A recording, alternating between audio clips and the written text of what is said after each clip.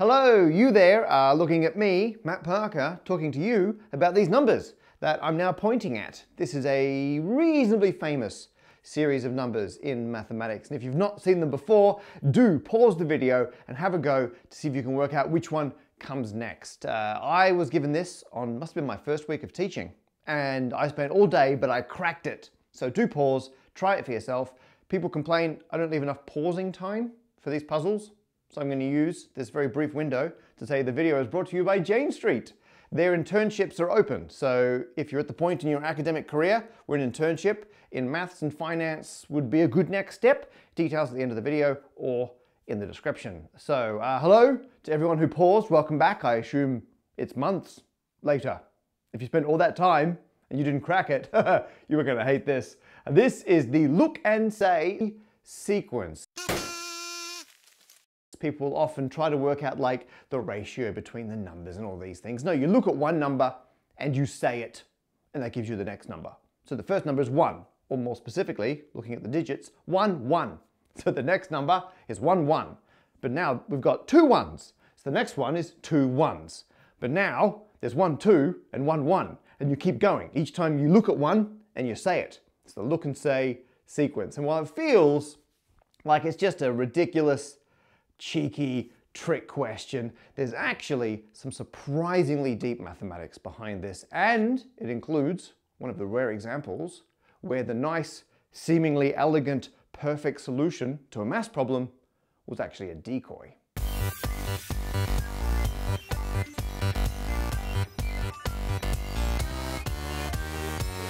There is some serious mathematics behind this sequence of numbers. No other than John Conway got obsessed with it in the 1980s. And what is mathematics? If not finding something ridiculous and then taking it too seriously, which is also the motto of this channel. So the two questions we want to ask about this sequence is, first of all, each sequential term, how much longer than the previous term is it? I guess in the limit as it goes on and on and on. And secondly, what's the ratio between the different digits? Like, are there more ones? Are there more sevens? What's the ratio between them in the long run? However, we are not going to have a look at the traditional look and say sequence because uh, too many digits, to put it shortly. We're going to swap it out for the binary look and say sequence. The binary version is exactly the same, but in binary. So it starts 1 and then 1, 1, but now when you want to write two ones, the 2 is in binary. So it's one, zero, that's 2, 1.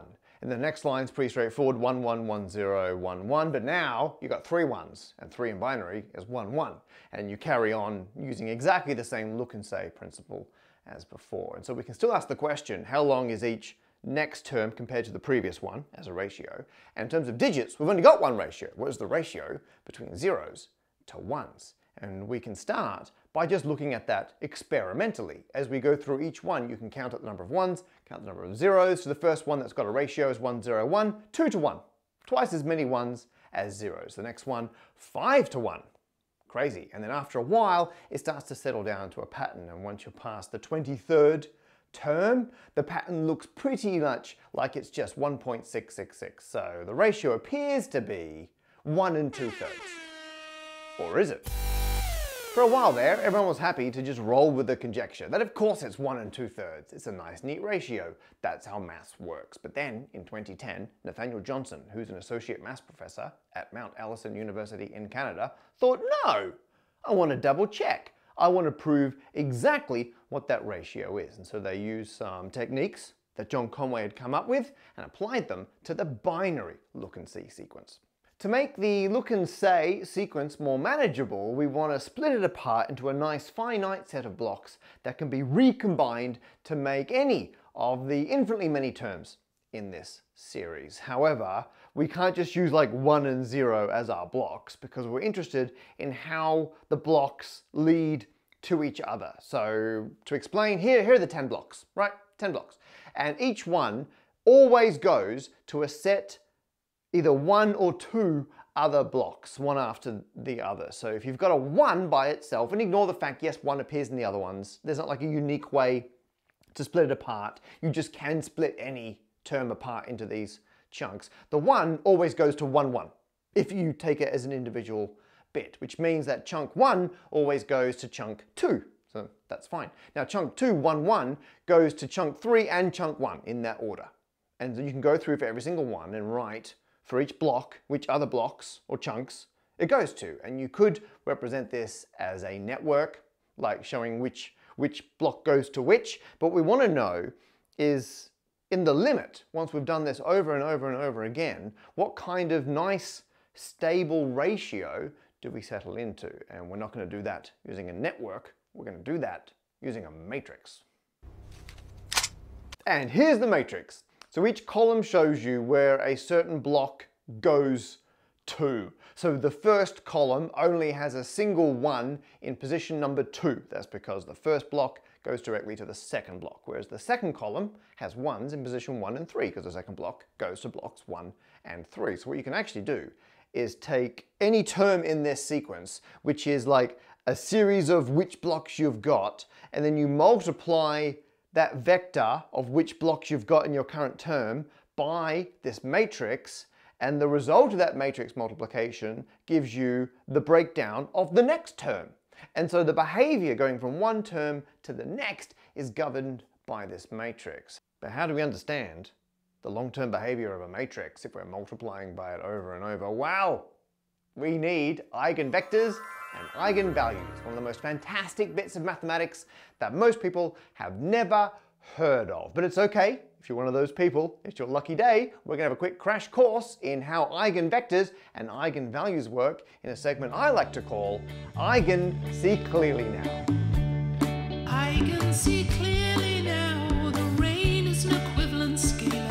Here I have a nice simple 2 by 2 matrix, 0, 1, 2, 3. Doesn't get much nicer than that. I'm actually going to turn this into negative 2 and negative 3. I'm going to multiply it by a 1 by 2 matrix, which is going to be 1, 2. Nice and simple and straightforward. And when you multiply these matrices together, you basically, you get this one and you flip it over and you, you do a, you know, you multiply 0 by 1, which is 0. Multiply 1 by 2, which is 2, and then you add them together. So uh, that's going to equal, the one at the top here is going to be uh, 2. And then the one at the bottom here is going to be 1 times negative 2, 2 times negative 3, it's going to be negative, uh, 8. So that goes down there. Okay, and that's, that's matrix multiplication. And if you think of these as vectors, this matrix has taken this vector and turned it into that vector, which has a new length and indeed a new direction. But what if I made the one slight change to that being negative 1? at the top. Well, okay, well, let's redo the multiplication. This time it equals, well, that's just still, well, the top one is still 2, hasn't changed. There's our vector. And the bottom one now is now, uh, well, that's going to be positive 2 times this. So it's going to be negative 4 this time. Okay, no major change. But then if you have a good look at this, you're like, wait a minute. This vector is that vector just multiplied by negative 2. So actually, I could turn this back into the original vector, negative 1, 2, but put a negative 2 out the front. And so for this specific matrix, or vector, if you multiply it by this matrix, you get the same vector, just scaled. And that, in a nutshell, is eigenvectors and eigenvalues. This is an eigenvector of this matrix because if you multiply it by the matrix, you get the same vector but with a value at the front, the eigenvalue.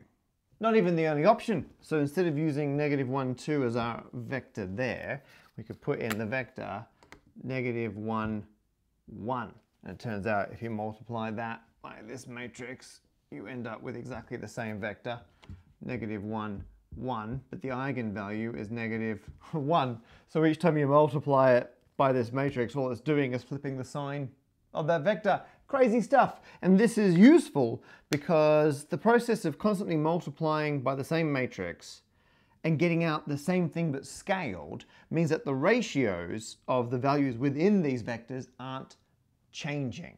And that's exactly what we want. We want in the limit when the ratios between the different chunks cease to change. So what we have to do is find the eigenvector and eigenvalues for the big matrix we had, and then that tells us once you hit this steady state, and we're going to look for the biggest um, eigenvalue version of the many eigenvectors, that's the ultimate steady state that our series will settle into.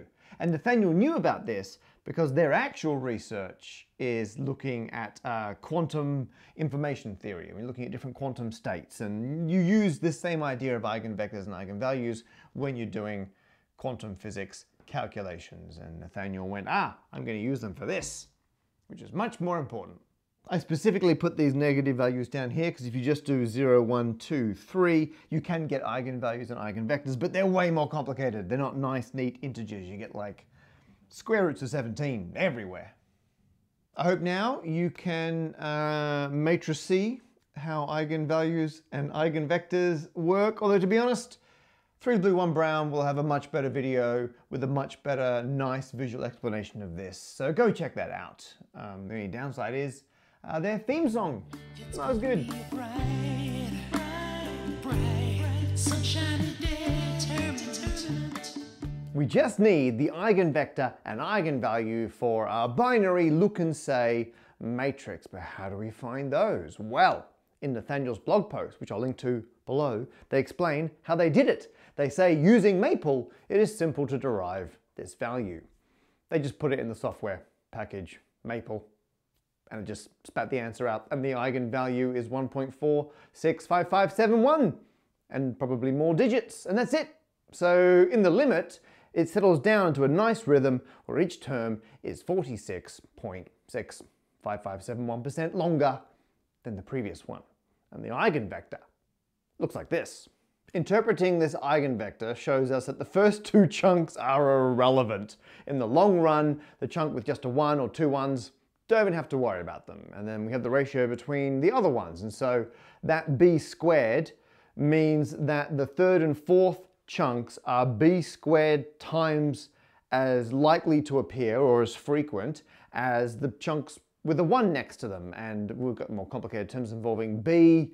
b is just an expression involving a, and a is an expression involving the square root of 93. The eigenvector is all about the square root of 93 when it comes to this matrix. And this is just a nice, neat way to collapse all those terms down so that the eigenvector is a bit easier to look at and understand. But in theory, you should substitute all those things in to get the original ridiculous vector. Now, to get the limiting ratio between ones and zeros, we take the limit ratios we have between all the different chunks and we multiply each of those likelihoods of that chunk being there by the ratio of ones and zeros in that chunk and then we add them all up. And we do not get 5 divided by 3. We get this. So on one hand, mathematicians had 1 and 2 thirds. On the other hand, they had this ridiculous expression. And they're like, oh, which one? Which one's it going to be? In fact, what you're looking at now, allow me to say, is the thumbnail. Good thumbnail.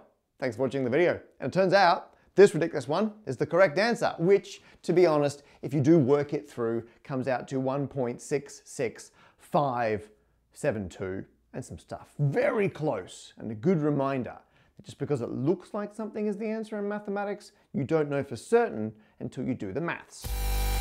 Thank you for looking at me, say to you, thank you for looking at this video. It's been fun, and thanks to Nathaniel Johnston for doing the maths in the first place, and thank you to Jane Street, who support my channel. They solve very complex mathematical problems in the financial world, which means they just want more mathematicians that they can potentially hire, which is why they support my channel and why they run a very generous internship program. This is in all three of their offices. The London, New York, and Hong Kong offices do this, and I've visited all of them Oh, I'm doing Hong Kong again soon.